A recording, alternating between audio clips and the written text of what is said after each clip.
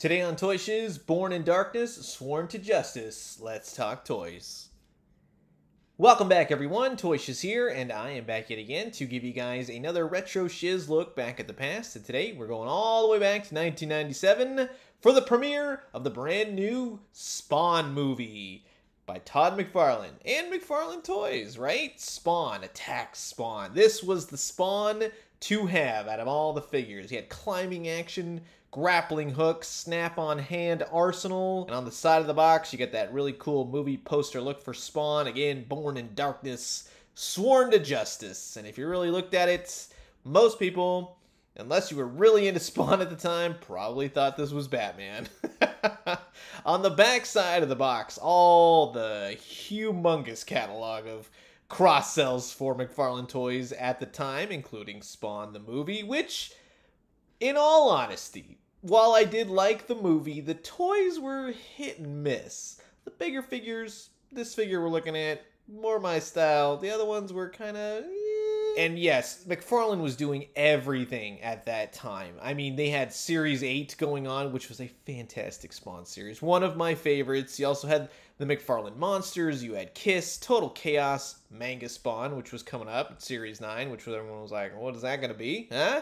And then you had the McFarlane Toys Collectors Club, which kind of plays a hand in looking like they're returning to form with that coming soon. McFarlane Toys Collectors Club or the McFarlane Store, whatever they're going to be doing, but call 188-99 Spawn and you can find out all about the brand new McFarlane Toys Collectors Club. On the very bottom of the box, the instructions, how things fit. You can swap out hands. That's actually pretty cool. Again, being ahead of his time. Now, that's like a no-brainer. But back then, nah, we didn't have swap out hands. And here's the barcode if for some reason you're trapped in 1997 and you're trying to grab a Spawn figure before you return home. Spawn the movie was a special effects movie event of the year. Now, being that I was in a Spawn, and being that there was really no such thing as the internet back then, I think it was mostly Wizard magazine and then reading the newspaper is how I was like, oh yeah, there's gonna be a Spawn movie. That's pretty cool. And I remember my dad took me to see it, and he was largely like, mm, I don't know if this is my thing. You know what I mean? But it was my thing,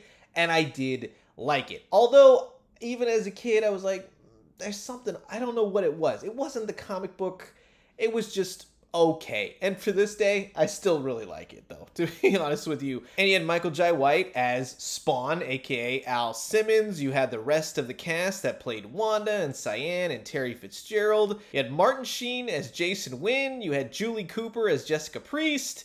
And the the true star of the show, I'm just gonna say, was John Leguizamo as the clown. You can just tell that dude was having a blast. He even ate a piece of pizza with maggots on it, or so Hollywood lore goes. There's even a director's cut of Spawn, a little bit more information, a little bit more running time to it. It's pretty good. Definitely check it out. In all honesty, when I do think of Spawn, of course you got the comics, of course you got the toys, but if you want to see an excellent, amazing rendition of Spawn, go watch the HBO old animated series.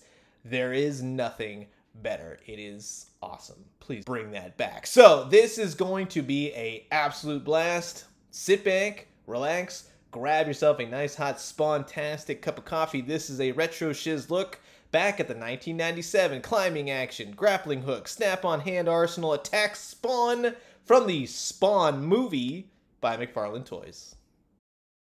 And Spawny Spawny, he's our man right out of the packaging, and you can see all the various attachments his humongous wing slash cape. It's really supposed to be his cape, but you know, it's like a grappling hook attachment. It's very toyetic for back in the 90s, and we loved our 90s toys, right? He does come with several accessories, blades, things that pop out of his arms and hands, and a giant one of those claws, but this was like a really cool attachment, just four blades. Really nicely sculpted and painted very nice as well. And then he had his weird suction cup hands. I would say they're not exactly spot on. They are more from the back than they are from uh, inside, but we'll, we'll talk about that.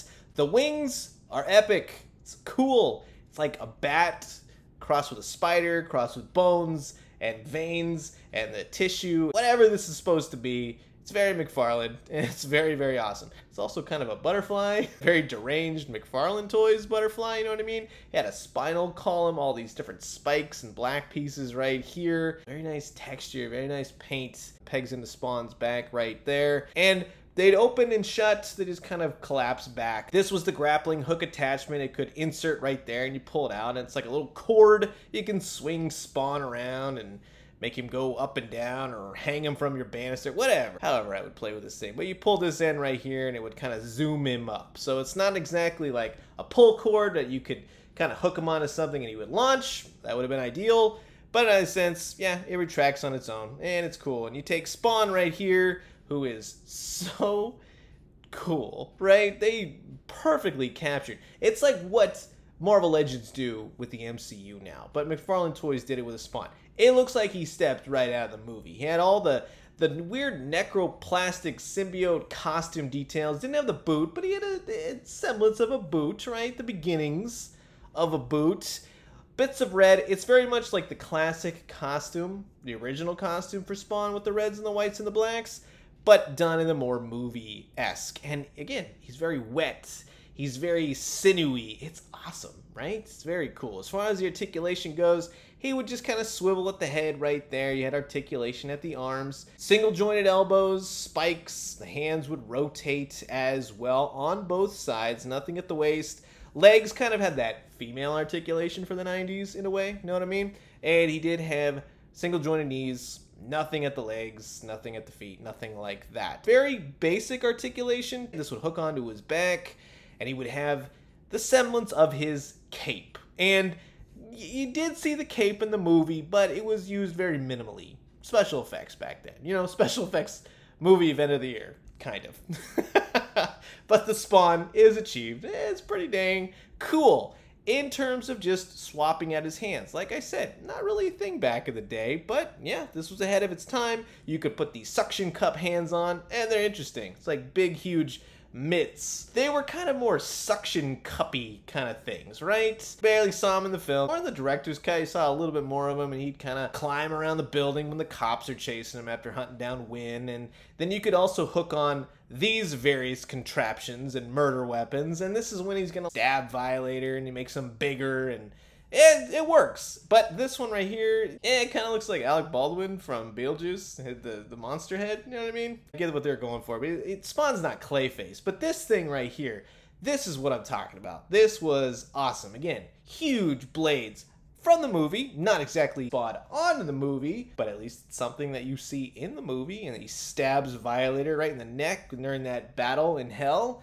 which was bonkers and made absolutely no sense. But yeah, it totally works. So if you want to jab it in Violator's neck nowadays, you could still do that. Speaking of which, new McFarlane Toys Spawn figures are coming out now. And yeah, these were smaller scale compared to what we're kind of getting. Now, the scaling went up as the Spawn figures came out, but even let's say the new clown, he's pretty much taller than this Spawn figure. Whereas all the movie figures largely went together. I have all the movie figures, but I gotta pull those out. The new Kickstarter Spawn, he dwarfs this guy. Kind of has like the similar look, pretty much achieves that look of the cape, but yeah, you can see much taller. There are certain Spawn figures, Spawn characters that do fit within this realm of scale, but it kind of varies from wave to wave, series to series. And one of the big competitors for around this time was Toy Biz, and they had a lot more detail going on. They did fix that, kind of sort of, with Planet of the Symbiotes and other Venom figures, and then later as they got more detail with Marvel Legends. But yeah, this is kind of how the 90s looked back then. And yeah, if you have the more larger deluxe Violator, I did like Violator in the movie, but the comic book looks of these characters are so classic. I absolutely love them. And if you really wanted to go old school, you could always go to the McFarlane Toys Collectors Club and get the special edition Todd the Artist figure, aka Todd the Bum. Yeah, Todd McFarlane was a guest cameo in his own Spawn movie. He's the bum. Yeah, they made an action figure of him. Pretty cool, right? So that's really gonna wrap it up for my retro shiz look back at the 1997 Spawn the movie Attack Spawn figure.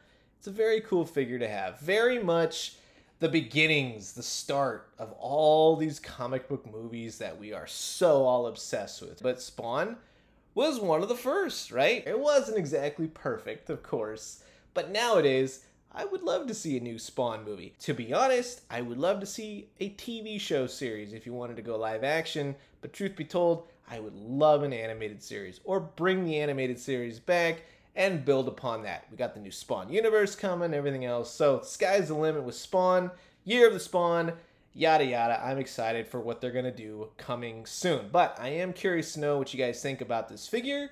Do you have it? Did you have it? Or do you need to get it now? Comment below, let me know. Let's talk everything Spawn the movie. So I'm to leave you guys with that. As always, drink some great coffee, eat some great food, but most importantly, remember, Jessica Priest killed Spawn, not Chapel, right? Wink, wink. And when you do, let me know what you found. I'll talk to you guys soon. Adios.